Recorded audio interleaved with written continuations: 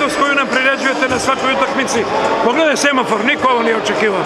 Pa nije niko očekivao. Prvo ja moram da se zahvalim publici koja je došla u ovako velikom broju ponovo i ispoštovala nas i dala nam taj vetar u leđa kad je trebalo i danas smo, mogu da kažem, poginuli na terenu svi kao tim, kao ekipa i to je dalo, to je dalo taj rezultat na semaforu.